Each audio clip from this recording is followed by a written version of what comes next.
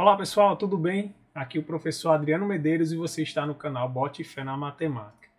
Então, estou trazendo aqui para vocês, pessoal, o recurso aqui da prova de nível médio, tá bom? Da parte da da parte da manhã. São duas questões, né, que merecem aí é, que a gente entre com recurso. A primeira é essa, né, do salário do, da Joana com o José, tá bom? Então, preste atenção, é importante você ouvir aqui as orientações para que você não faça de forma errada o seu recurso, tá bom?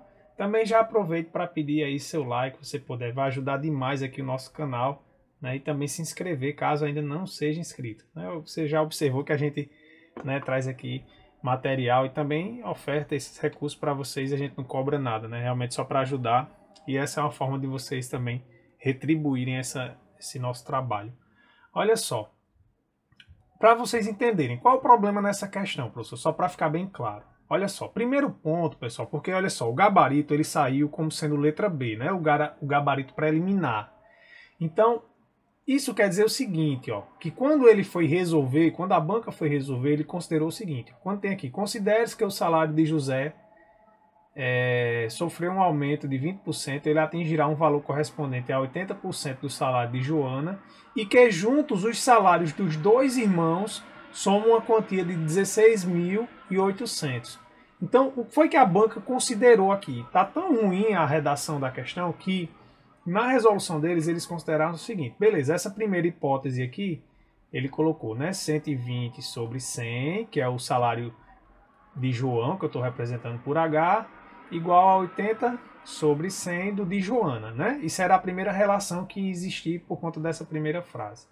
Só que observe, e que juntos os dois salários, o salário dos dois irmãos são uma quantia de 16.800. Ora, se é o salário, então eu tenho que somar o salário com o reajuste, tá certo? Que foi assim que a gente resolveu lá na resolução. Entretanto, a banca, né, de acordo com a, com a resposta que ela chegou, é, ela considerou, na verdade, que somou o salário de José antes do aumento. Tá bom? Então observe que realmente é uma confusão muito grande aqui. Né? É, não deixa claro o que, é que você deve considerar nesse ponto aqui. E também na hora de perguntar mesmo. Ó, é correto afirmar que o salário de Joana é maior do que o salário de José em uma quantia compreendida entre. Qual o salário que você considera? O salário original ou o salário reajustado? Então, esses são os dois furos né, que tem aí no enunciado dessa questão, tá bom? Então, esse recurso deu um pouquinho de trabalho, porque na verdade aí eu tenho que eu tive que procurar né, uma referência que falasse sobre é, problema de enunciado de questões. Então, mas consegui encontrar, tá certo? Por isso que demorou também um pouquinho esse recurso dessa questão em particular. Quando é alguma coisa mais teórica, acaba sendo mais simples da gente encontrar a referência, tá bom? Então, qual a orientação? Mesma coisa, vai estar tá lá no site. Eu já vou disponibilizar para vocês duas formas, tá certo? Duas formas de redação. Uma terceira forma eu passei em particular para uma candidata. Então a gente vai colocar aqui três tipos de recursos.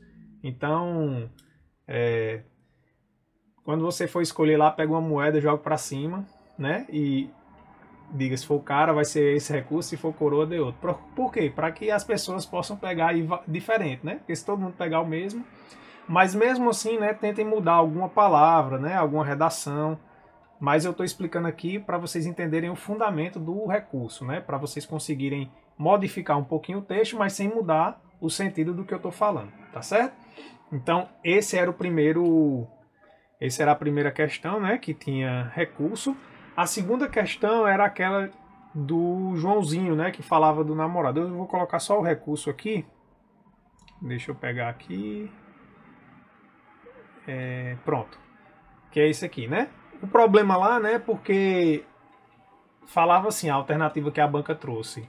É, namorou pelo menos uma moça, né? Quando a gente ia negar lá o todo. Entretanto, o correto seria namorou pelo menos uma moça que não é linda.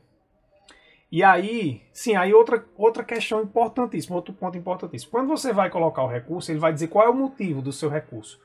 Na, no recurso anterior é o enunciado da questão, tá bom? E nesse recurso agora, você vai colocar que é falta de alternativa correta, tá bom? É alguma coisa desse tipo que vai ter lá. Então, coloca esse motivo, falta a alternativa correta. E aí a mesma coisa, né? Vou colocar lá para vocês e aí vocês fazem aí é, essas pequenas alterações aí. Inclusive, se você quiser citar algum outro autor de raciocínio lógico, você tem um livro aí, é só procurar na parte de quantificadores universais e citá-lo, por exemplo, tá bom? Caso você queira trocar, mas esse é o esqueleto aqui da argumentação. Tá bom, pessoal? Professor, onde é que vai estar tá mesmo? Vai estar tá aí na descrição do vídeo, tá? O link que vai dar acesso lá no meu site, tá bom? E aí você vai lá e clica e vai ter acesso. Vou disponibilizar de novo em Word e também em PDF. Tá bom, pessoal? Então, espero que dê certo e depois me deem um retorno aí. Tô torcendo aqui por vocês, tá bom? Forte abraço, fiquem com Deus e até a próxima.